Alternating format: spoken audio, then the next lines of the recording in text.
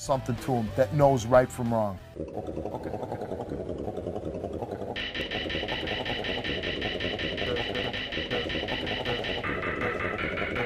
He has a little something to him that knows right from